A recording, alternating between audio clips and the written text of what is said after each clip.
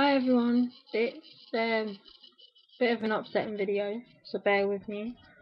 Um, it shouldn't take long. I've just got a few things down about my past, and it's all true. So here it goes.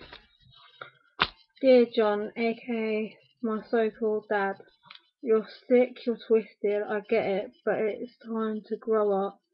Too much to think about, but nothing to do. There's something inside of me has got me thinking. What was I thinking from the beginning? Even though I make believe. But you really did what you've done to me.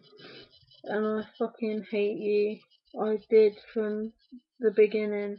You're no dad of mine. I've disowned you and thanks to you I can't have kids. So thanks a lot. And I'm 20 years old now. I'm old enough to understand what you've done to me, but I don't know why you done it. and hate is a strong word, but for you it's needed. I hate you with all my heart for all that you have done to me and put me through. I thought the love we had was strong, but it all fell apart when you pinned me to the stairs by my throat. You could have killed me if it wasn't for my brother getting you off me. I would be dead, and I wish I was, because then you wouldn't have raped me.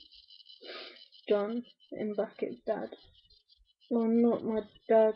In my head, you're dead to me, and always will be. Bruce is my dad.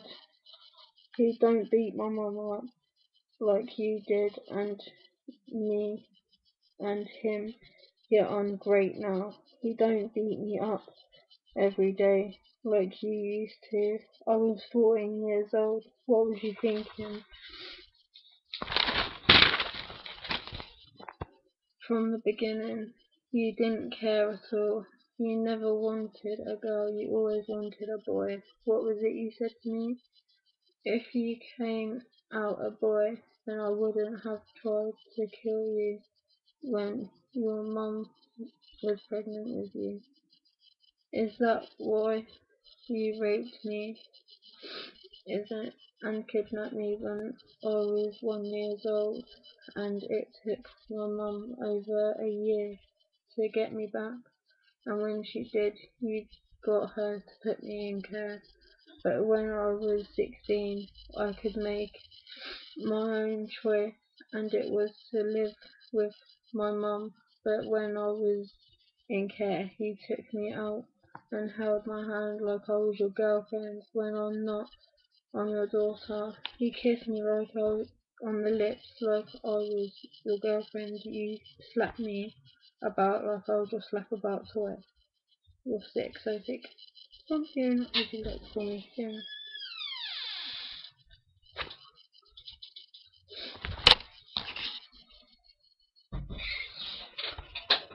Sorry, that was my stepdad.